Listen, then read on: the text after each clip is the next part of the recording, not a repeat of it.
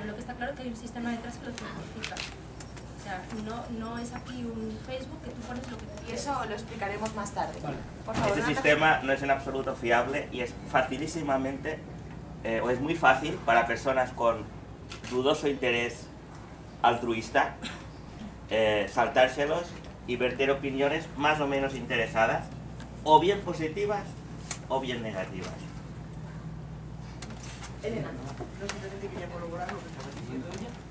Yo, mucho antes de conocer Trivago, yo viajo mucho, conozco muchos hoteles en España, en Europa y de aquí. Y siempre, desde hace muchos años, miro opiniones en internet antes de cogerlo. Mucho antes de conocer Trivago. Y más de una, lo que dices, miro varias páginas, miro las que vienen en los mismos comentarios de hoteles, miro otras páginas de opinión. Y creo, a mí por lo menos como usuaria, ¿eh? como usuaria antes de conocer Trivago, siempre me han resultado muy importantes. Y ahí Lourdes tiene otro ejemplo muy reciente de hace escasamente 8 días. Yo también hace muchos años, yo también viajo mucho. He viajado mucho por temas de, de empresa, pero a nivel particular también. Y sí que le doy bastante importancia a leer opiniones, pero sí que es cierto que tú lees opiniones y hay un 10% que no te resultan creíbles. Y que a veces van de, Pero te das de repente. Pero se suelen distinguir. Pienso que sí, que se suelen distinguir. Eh, Yo no sé si es que no se ve aquí a fondo. ¿eh?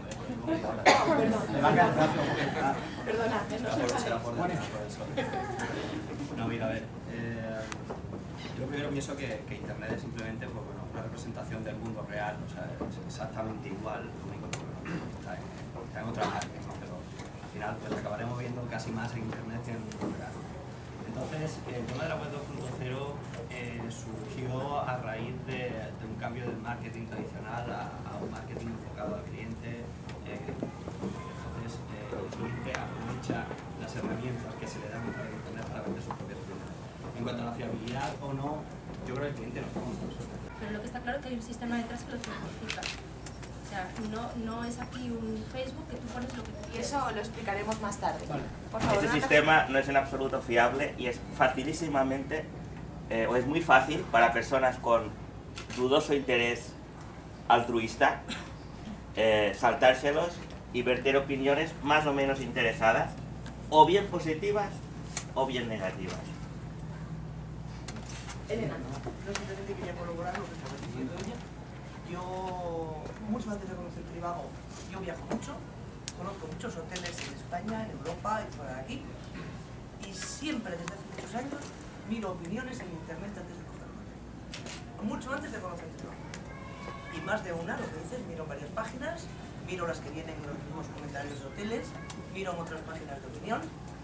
Y creo, a mí por lo menos como usuaria, ¿eh? como usuaria antes de conocer Trivago, siempre me han resultado muy importantes. Ahí Lourdes tiene otro ejemplo muy reciente de hace escasamente 8 días. Yo también hace muchos años, yo también viajo mucho. He viajado mucho por temas de, de empresa, pero a nivel particular también.